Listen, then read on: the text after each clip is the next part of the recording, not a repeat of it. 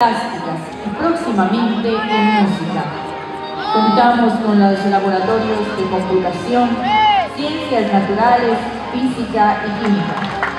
Además, se brinda a la población estudiantil un excelente servicio de Internet inalámbrico. Para los deportes contamos con canchas de uso múltiple, las cuales ameritan la cubierta por, las, por parte de los